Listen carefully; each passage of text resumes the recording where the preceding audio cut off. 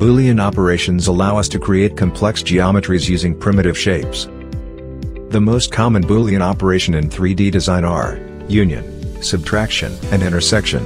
Consider these intersecting cube and sphere. Union, union merges selected multiple bodies to form a single body. Here, we are merging sphere with a cube.